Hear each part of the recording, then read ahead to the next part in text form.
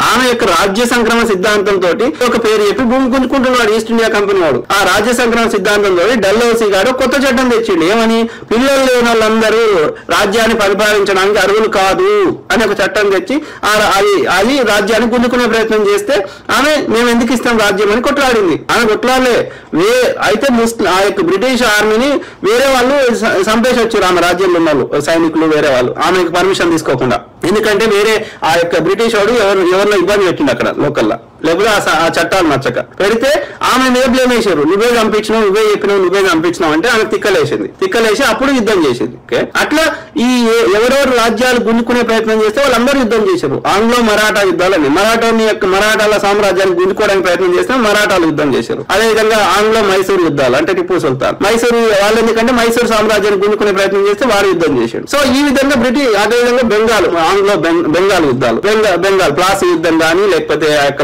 బక్సర్ యుద్ధం కానీ సిరాజుద్దీన్ దౌలా వాళ్ళకి? ఎందుకని? ఎవరెవరి సామ్రాజ్యాన్ని గుంజుకుంటే వాళ్ళు యుద్ధం చేశారు. నా పరిపాలన గుంజుకుంటా అంటే. వాళ్ళందరూ మరి ఝాన్సీ లక్ష్మీబాయి దేశభక్తురాలు అయినప్పుడు టిప్పు సుల్తాన్ కూడా దేశభక్తుడే. మస్తు కొట్లాడు ఝాన్సీ లక్ష్మీబాయి కంటే ఎక్కువ కొట్లాడు దాన్ని వివాదం చేస్తారు. ఆయన శ్రీ- శ్రీరంగపట్నంలో ఉన్నటువంటి గుడిని ఈ యొక్క మరాఠాలు అటాక్ చేస్తుంటే మొదల నుంచి రక్షణ కావాలని అక్కడ ఉన్న పూజారులు బతిలాడుకున్నారు టిప్పు సుల్తాన్. బతిలాడుకుంటే ఆయన సైనికులను పంపించి ఆ గుడిని కాపాడండి శ్రీరంగపట్నంలో ఉన్న గుడిని. ఆయన యొక్క యొక్క దివాన్ మ- ప్రధానమంత్రి ముఖ్య మంత్రి ఎవరు అంటే హిందూ పున్నయ్య బ్రాహ్మణ్. ఔరంగజేబు యొక్క ముఖ్య ముఖ్య ప్రధానమంత్రి యొక్క దివాన్ ఎవరు అంటే జయసింహ. యొక్క మరాఠాలతోటి ఈ శివాజీ తోటి యొక్క డీల్ చేసుకుని ఆ యొక్క చర్చలు ఒప్పందం చేసుకోవడానికి ప్రయత్నం చేశాడు. సో పొద్దుగాలేసి అబద్ధాలు చెప్తాను ఎట్లరా?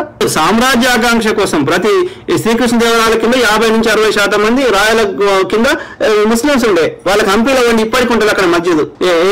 వాళ్ళ యొక్క ముస్లిం సైనికుల కోసం సపరేట్ మస్జిద్ కట్టించాడు. ఆ యొక్క రాయలు. హిందువులకు మస్తు గుళ్ళు కట్టించారు. ఒక ఒక్క మస్జిద్ కట్టిస్తే వీళ్ళకి నొప్పి అవుతుంది. మరి వాళ్ళ యొక్క సేవ చేస్తున్న వాళ్ళకి వాళ్ళు కట్టించారు హిందువులకు మస్తు గుళ్ళు కట్టించిండు ఆయన. అర్థమైందా? అట్లనే ఈ యొక్క శివాజీ మహారాజ్ ఆయన కింద యాభై శాతం పైన సేనాధిపతులు అంతా ముస్లింసే ఈవెన్ ఝాన్సీ లక్ష్మీబాయితో పాటు ఉన్న వాళ్ళంతా చాలా మంది అన్ని మత బీసీలు అన్ని ముస్లింస్ అందరు ఉన్నారు. ఆయన ఇప్పుడు ఓన్లీ మీరు యొక్క యొక్క ఝాన్సీ ఫోర్ట్ ఉంది కదా ఆ కోటలకు వండి మీరు బక్షి అని ఉంటారు ఆయన సైన్యాధ్యక్షుడు. ఓకే?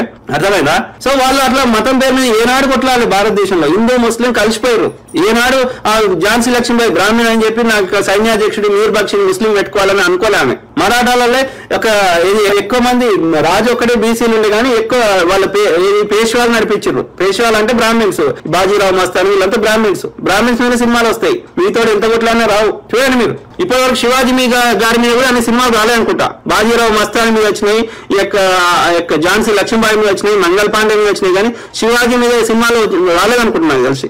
మరి ఆయన ఆయన ఇది యొక్క మరి బీసీ. అది సమస్య. ఇక్కడ బాపనోడి నొప్పి అయితేనే నొప్పి. బాపనోడు తుమ్మినా తగ్గినా గ్రేట్. మిగతా ఎంత వాళ్ళ ప్రాణాలు తెగించినా ఇది కాదు. ఈ డిస్క్రిమినేషన్ నడుస్తున్నది మన కోర్టులలో మన యొక్క ఐఏఎస్లలో ఐపీఎస్లో ఇప్పటికీ మెజారిటీ బాపనోళ్ళు ఉన్నారు ఈవెన్ ప్రైవేట్ కంపెనీలో కూడా సీఈఓలు యొక్క బోర్డ్ ఆఫ్ డైరెక్టర్స్ నిర్ణయం తీసుకునే అన్ని పొజిషన్లో బాపనోళ్ళు ఉన్నారు. బీసీ ఎస్సీ ఎస్టీ వాళ్ళు లేరు. వీళ్ళని ఓటు బ్యాంక్ మలుచుకుంటారు వీళ్ళని వీళ్ళ జీవితాలతో ఆడుకుంటున్నారు ఎడ్డోళ్ళకి తెలుస్తలేదు.